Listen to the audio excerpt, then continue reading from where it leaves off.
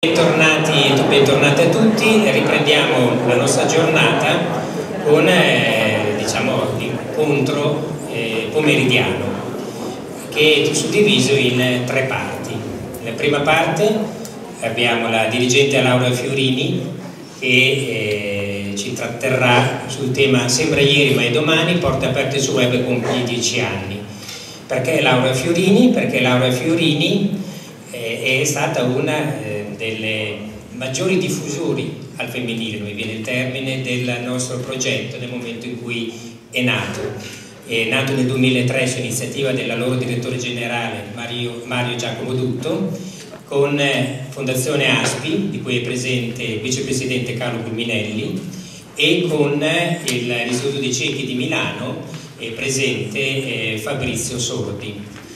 Il mio intervento è duplice, un po' di ricordo e un po' di rilancio. Um, io mi vanto di essere no, mamma, io dico sempre di porte aperte, nel senso che um,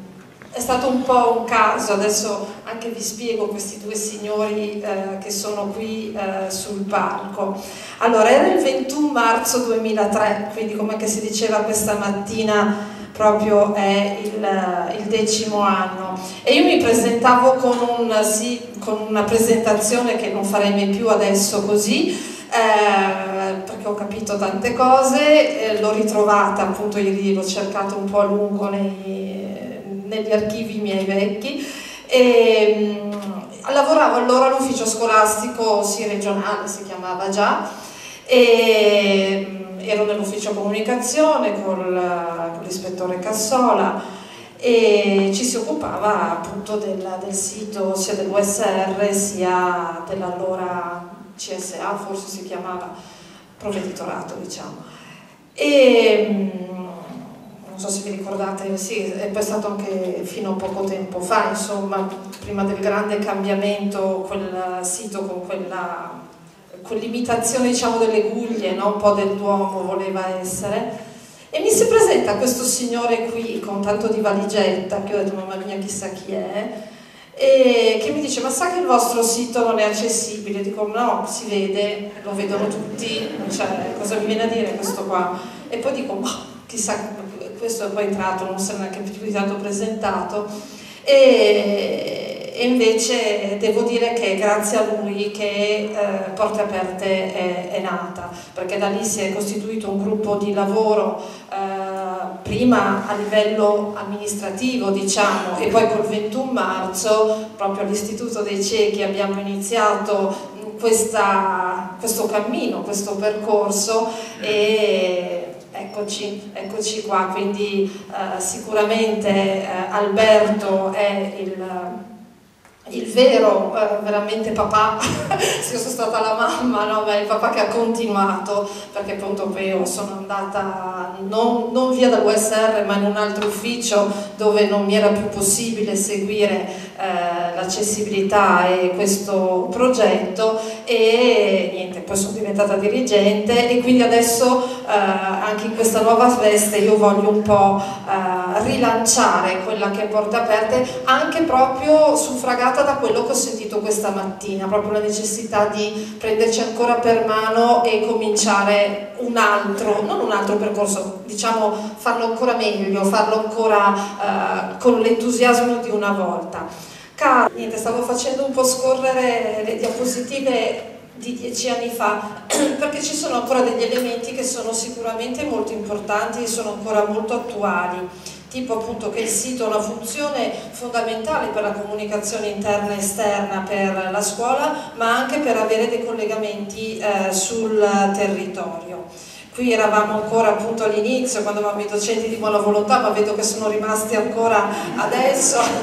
ad avere sulle spalle tutto il peso eh, del sito. Io dico sempre che i dirigenti sono delle brutte bestie, quindi bisogna farli crescere, bisogna far capire loro eh, l'importanza di questo strumento e poi appunto c'è il problema dell'aggiornamento, dei docenti che vanno a implorare dei materiali, qualcosa da poter mettere sul sito, i lavori del ragazzino che arrivano nei formati e nei pesi eh, più assurdi, quando arrivano quelli col CD, ma come non si, non si può mettere sul sito, magari sono mega mega di roba e quindi eh, si pretende l'impossibile ed erano i tempi dei siti con le gif animate, con eh, tante cose che si muovevano e che appunto grazie a loro abbiamo capito essere di un disturbo incredibile, ma al di là per le persone disabili, ma anche a livello di comunicazione non faremmo più uh, dei siti in questo modo perché la comunicazione deve arrivare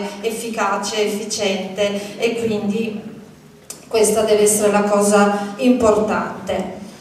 I passi più o meno che abbiamo fatto, eh, quello sicuramente di esportare, di diffondere una cultura per l'attenzione, per l'accessibilità ma anche l'usabilità. Erano usciti allora i libri, adesso non mi ricordo più i nomi, ma l'eco troiani, tutti insomma quelli che, che noi eravamo divoratori di questi, di questi libri. Nielsen, esatto, certo. E ehm, devo dire che poi le persone che avevo avuto più vicino sono state sicuramente Alberto, eh, che poi mi ha accompagnato nel percorso in USR, e poi vabbè una persona alla quale tengo in particolar modo che è Demetrio Caccamo. Eh, queste slide le abbiamo preparate ieri anche un po' insieme, oggi lui non poteva esserci, ma eh, ci tengo proprio a, a nominarlo. Um, quindi abbiamo fondato, diciamo, no, non l'abbiamo fondata, si è, si è autocreata questa community anche grazie alla mailing list, era una delle prime mailing list dove si diceva va bene cresciamo insieme, eh, chi scopre una cosa la dice all'altro e infatti funzionava così, non era il problema chi dà, chi prende, ognuno metteva quello che, che scopriva ma vedo che ancora adesso magari qualcuno entra un po' timidamente e dice ma io sono nuovo, non so, ma rifaccio domande banali, ma noi anche le domande banali sono sempre piaciute perché sono sempre stati eh, stimolo eh, per poter appunto riflettere ed andare avanti. E mi ricordo le serate anche che so di Mario con anche Demetrio fino alle tre di notte mi raccontava per scoprire codice per andare a vedere appunto come potessero funzionare le cose. Si sono analizzati i siti delle scuole sarà fatta anche una prima mappatura per vedere quali erano le scuole che avevano i siti e come li costruivano è iniziata poi anche quella, eh, per noi era una conquista, ottenere la validazione dal V3C, avere questa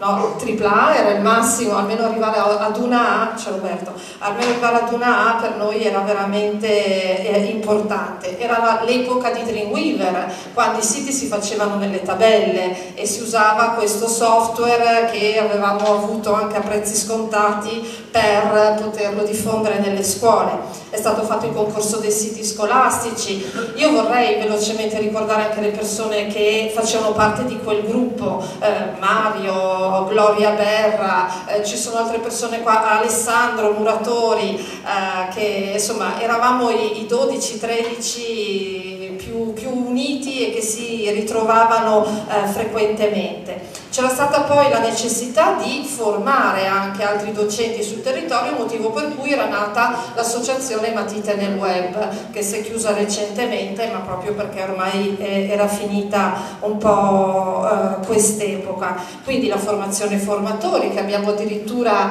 esaminato, mi ricordo venivano in USR, facevamo un incontro per vedere, per discutere come erano stati fatti i siti e eh, il sito che doveva avere sia questo valore informativo ma anche formativo e quindi didattico. E questo ecco, è un altro punto che vorrei che teneste a mente per appunto il rilancio che voglio fare e poi la grande svolta che era stata quella dei CMS perché quello ci ha portato a un nuovo modo di fare, eh, di fare i siti. Ecco poi da lì mi sono fermata da un punto di vista tecnico proprio eh, superate le tabelle e poi non sono più stata dietro questi mostri che eh, veramente sono eh, bravissimi. Quindi dopo